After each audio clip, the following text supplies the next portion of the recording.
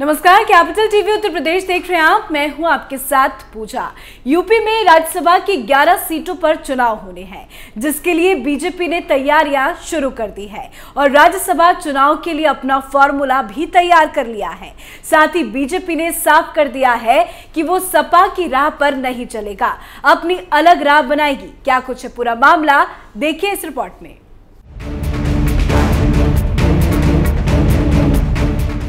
उत्तर प्रदेश में राज्यसभा की 11 सीटों पर होने वाले चुनाव के लिए भारतीय जनता पार्टी ने भी तैयारियाँ शुरू कर दी हैं, जबकि समाजवादी पार्टी पहले से ही तीन सीटों के लिए प्रत्याशियों के नामों का ऐलान कर चुकी है।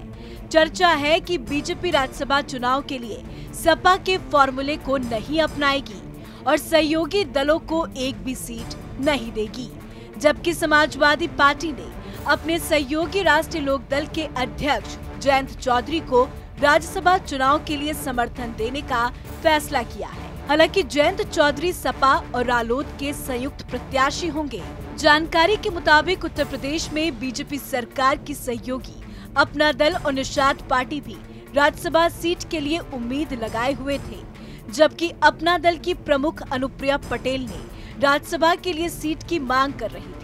लेकिन बीजेपी अपने सहयोगी दलों को एक भी सीट देने के पक्ष में नहीं है। बताया जा रहा है कि उत्तर प्रदेश बीजेपी की तरफ़ से जिन 21 दावेदारों के नाम आलाकमान को भेजे हैं, उसमें एक भी सहयोगी दल के नेता का नाम शामिल नहीं है। गौरतलब है कि 11 राज्यसभा सीटों के लिए 10 जून को चुनाव होने वाले हैं और सपा अभी तक तीन सीटों पर अपने प्रत्याशियों को उतार चुकी है।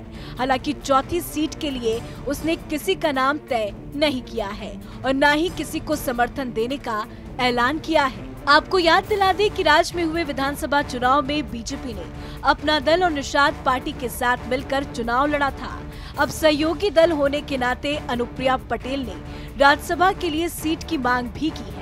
अनुप्रिया पटेल ने इसके लिए सपा का उदाहरण बताया है और कहा कि कम सीटें होने के बावजूद सपा ने एक सीट रालोद को दी लिहाजा सहयोगी दल होने के नाते उनकी पार्टी को भी एक सीट मिलनी चाहिए मीडिया रिपोर्ट के मुताबिक यूपी बीजेपी की ओर से जो 21 नाम आलाकमान को भेजे गए हैं, उसमें संजय सेठ, जयप्रकाश, ज़फ़र इस्लाम, नरेश अग्रवाल, प्रियंका रावत शिव प्रताप शुक्ला, सुरेंद्र नागर के नाम शामिल हैं। असल में बीजेपी राज्यसभा चुनाव के ज़रिए लोकसभा चुनाव को साधना चाहती है और वो जाति और क्षेत्रीय समीकरणों को ध्यान में रखकर प्रत्याशी घोषित करना चाहती है।